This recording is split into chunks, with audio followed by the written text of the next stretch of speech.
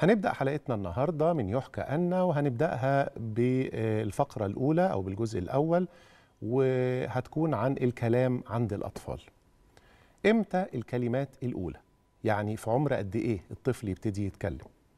وإيه هو أفضل وقت للكلام مع الطفل؟ وإيه اللي الطفل بيحتاجه علشان يكتسب مهارة الكلام؟ وهل الكلمات الأولى لازم تكون ماما وبابا ولا ممكن تكون حاجة تانية؟ وإزاي نساعد الطفل في تنمية مهارة الكلام عنده؟ سألنا الأسئلة دي لمجموعة من حضراتكم في تقرير مصور. يلا نشوف التقرير ونرجع نبدأ حلقتنا.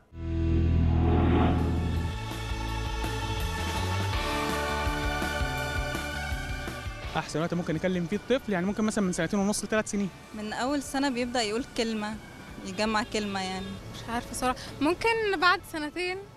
أعتقد. إن أنا طول ما أنا قاعد معاه اكلمه مثلا لو أنا آه، بتفرج على التلفزيون يعني آه، أطفي التلفزيون شوية وأتكلم معاه مثلا آه، أقلل عنده مثلا منطقه التشتت إن أنا أتكلم معاه أكتر.